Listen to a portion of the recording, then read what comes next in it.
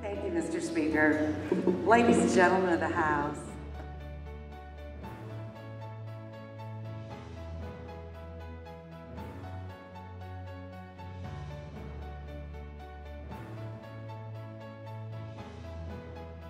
Well, the one that comes to mind quickly is the asset verification bill.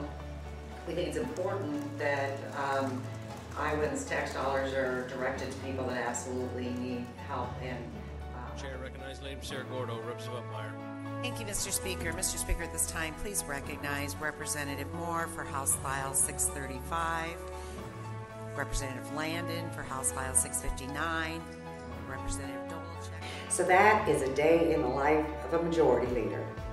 If you'd like a much more up close and personal look at what goes on in the Iowa House, be sure and visit the Iowa Capitol, your capital, and be sure to follow us on Twitter.